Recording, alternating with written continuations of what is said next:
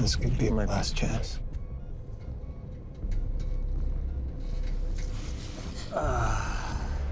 So the anatomy of this this scene, okay, yeah, three different locations, huge set pieces, uh, laboratories, container ships, kind of uh, big, ambitious stunt coordination, a lot going on. People uh, being transformed from one being to another. Maybe one of the more exciting sequences in the film is when we kind of follow uh, Morbius into this final stage of testing and he enters a new world. But along the way, all hell breaks loose.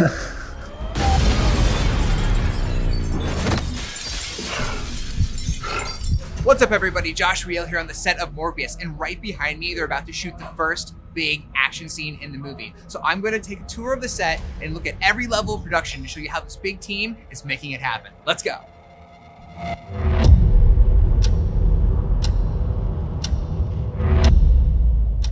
This is the scene where uh, Morbius is trying to cure his uh, fatal disease uh, with catastrophical, uh, you know, consequences. This is the scene where, where Morbius uh, commits the fundamental sin against himself that will motivate him not just to uh, uh, change himself, but to become the hero that we want him to be. This is the scene uh, when Peter Parker loses Ben. All of us uh, comic book nerds uh, know the image of uh, Morbius being washed up on the shore and you have the yacht in the background.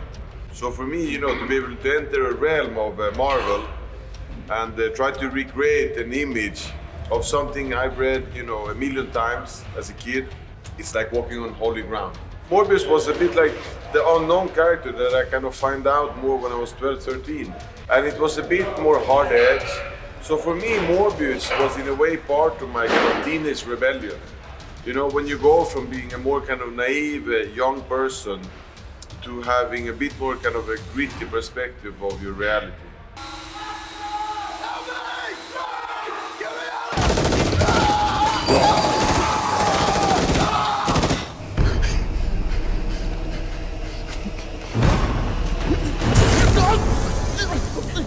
So we built part of the set uh, in a location that was the lab portion of the set. We found a location that had these incredible pieces of architecture that already existed. So we added to it and built onto it to like give additional production value, great piping and the ceilings and that kind of thing. And then this part is doubling for like corridors of an actual boat. So what we've done is we've found a location where you get a lot more depth and a lot more mystery because uh, we're not really we're not really showing the character of Morbius here. It's much more sort of glimpses of him. So we needed to find places to hide him and to really feel sort of the the original alien, that kind of like pressure and the, the, the, suspense of that. So we're doing that, and then we go for one day to an actual ship and shoot on an actual ship. So it's sort of spread over three places to give more dimension and depth to the to the to the sequence.